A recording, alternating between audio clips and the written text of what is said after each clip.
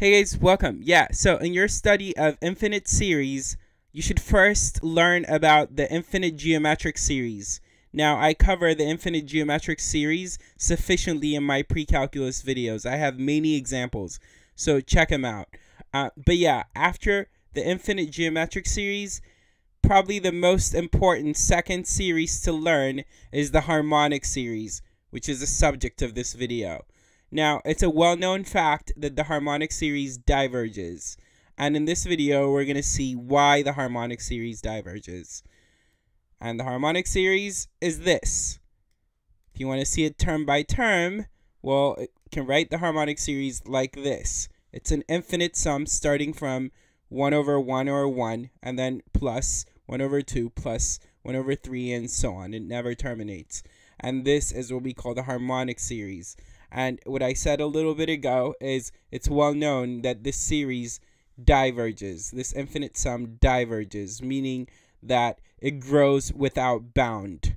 Um, it tends towards infinity. It does not have a finite value. So we know the harmonic series diverges. The question is why? How do we know that it diverges? Well, let's compare the harmonic series, so this infinite sum, with the following infinite sum what we can say decidedly is that the harmonic series is bigger than the second infinite sum. Why? Well, the first so many terms are identical, and then I've replaced this one fifth with one eighth in the second sum, so clearly uh, one fifth is bigger than one eighth, and then one sixth is bigger than one eighth, one seventh is bigger than one eighth, and one eighth is equal to one eighth. And then these guys shaded in gray from the harmonic series I've replaced them all with the guy at the tail end of the shaded part in the harmonic series, which is 1 16th. And clearly, 1 9th is bigger than 1 16th, and 1 10th is bigger than 1 16th, and so on. You get it, you get it. And so, therefore, this second infinite sum, if I proceed in this manner, is clearly smaller than the harmonic series. So, if I show that the second infinite sum goes towards infinity, which is it grows without bound, then suffice it to say that the harmonic series also grows without bound, right? But wait, on closer uh, examination, this second sum, right, uh, is this, which is like, well, we have the 1 and then we have the 1 half, but 1 fourth plus 1 fourth is 2 fourth, which is 1 half. And then we've got 4 1 eighths, that's 4 eighth, which makes 1 half. And then we've got um, 8 6 1 sixteenths, and that's 8 over 16.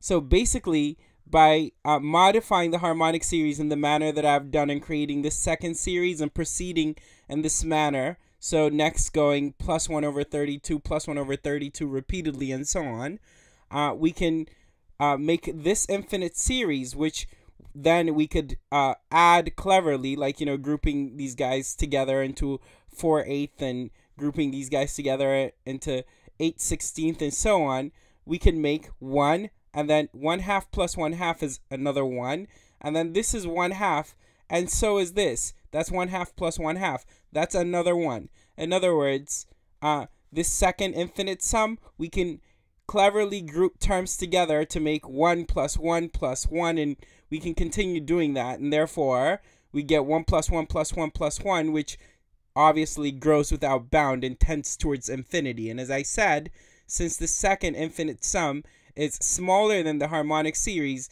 if this second infinite sum, the smaller guy, goes towards infinity, then surely so does the harmonic series. And so this concludes uh, my um, convincing you that the harmonic series diverges. Now, another very well known fact is that the uh, alternating harmonic series converges and the alternating harmonic series uh, alternates as the name says. So it's like one minus a half plus a third minus a fourth and so on. So that somehow converges when it alternates but clearly when it's not alternating and it's just harmonic it diverges as i just convinced you. Yeah? All right cool. Uh, i hope uh, 2019 uh, brings you all the best and keep watching. Take care